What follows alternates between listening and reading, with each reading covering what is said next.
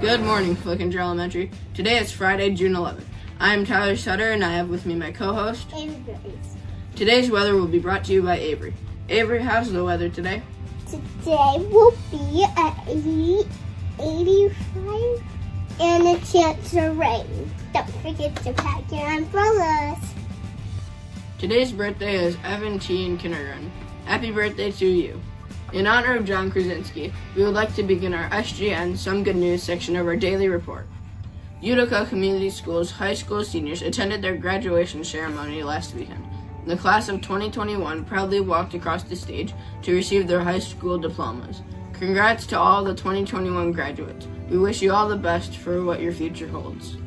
Speaking of graduations, one Louisiana high school graduate almost couldn't walk across the stage with his classmates because of a pair of tennis shoes. Deverius was wearing a black top, white soled tennis shoes and was stopped at the door. He learned that the tennis shoes were in violation of the dress code. One educator, Mr. Butler, stepped in at the nick of time and swapped his shoes with the graduate. Deverius was able to join the graduation line and walk across the stage. Melinda Sporia became a Utica Community Schools high school graduate at the age of 70 years old.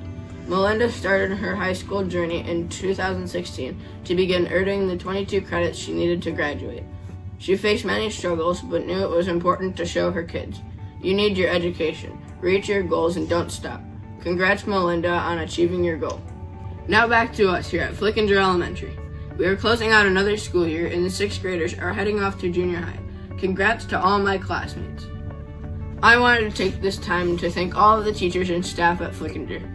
Thank you for all of your hard work and dedication. You have made a big impact on our education. You are all champions. We would also like to congratulate Mrs. DeCuman and Mrs. Turgeon on their retirement. We will all miss you at Flickinger and wish you all the happiness in the world. Now please stand for the Pledge of Allegiance.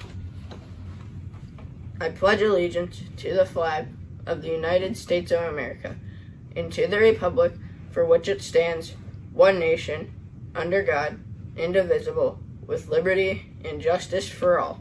Tyler, I'm gonna miss doing this newscast with you. Yeah, I'm gonna miss it too. Take time to be outside during your summer vacation to burn off some energy.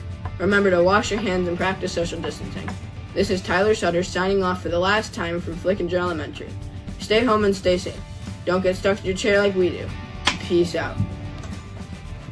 Wait a minute. I'm free!